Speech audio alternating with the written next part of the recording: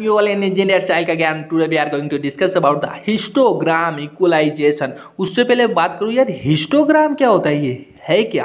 देखो हिस्टोग्राम में ग्राफ दिख रहा है तो ग्राफ तो देखो histogram is a graph showing the number of pixels in a image at each different value found in that image यानी कि नंबर ऑफ़ पिक्सल का ग्राफ शो करता है जो अलग अलग वैल्यू के ऊपर पाया गया है इमेज के अंदर। लाइक एट बिट का आपके पास ग्रे स्केल इमेज है, ठीक है? जिसके अंदर दो सौ छप्पन होगी टू की पावर एट दो सौ छप्पन डिफरेंट पॉसिबल इंटेंसिटीज हो गई तो वहाँ पर दो सौ छप्पन प्रकार की डिफरेंट डिफरेंट वैल्यू को ये ग्राफ के अंदर शो करता है, वही हिस्टोग्राम होता है।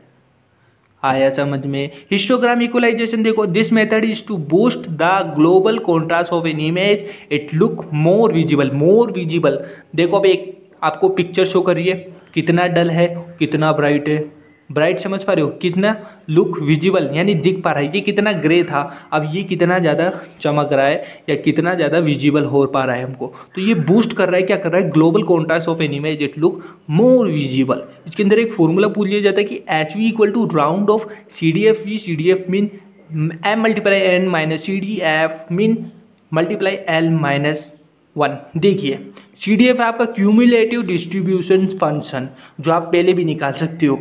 पहले भी मैंने बताया कई बार so L is maximum intensity value 256 every one know यार इमेज पढ़ रहे हो, आपको इतना पता होना चाहिए, अगर मेरी वीडियो स्टार्टिंग से देख रहे हो तो। आगे देखिए M is your image width N is your image height और एच है आपका इक्वलाइज्ड वैल्यू तो इस प्रकार से आप समझ पा रहे हो हिस्टोग्राम में, आपको ये पूरा डिटेल बताना है हिस्टोग्राम क्या होता है इक्वलाइजेशन क्या होता है, इसका फॉर्मूला क्या होता है क्या क्या किसे यूज़ किया जाता है, और डायग्राम भी शो कर सकते हो आप अपने अकॉर्डिंग बना के। पेंसिल के थ्रू। सो so, फ़िलहाल वीडियो में इतना ही। आई होप आपको वीडियो समझ में आई होगी। And thank you so much watching this video video को लाइक करो कमेंट करो शेयर करो। ज़्यादा से ज़्यादा लोगों में जल्द हाजिर होता हूँ नेक्स्ट वीडियो के साथ। जय हिंद जय भारत।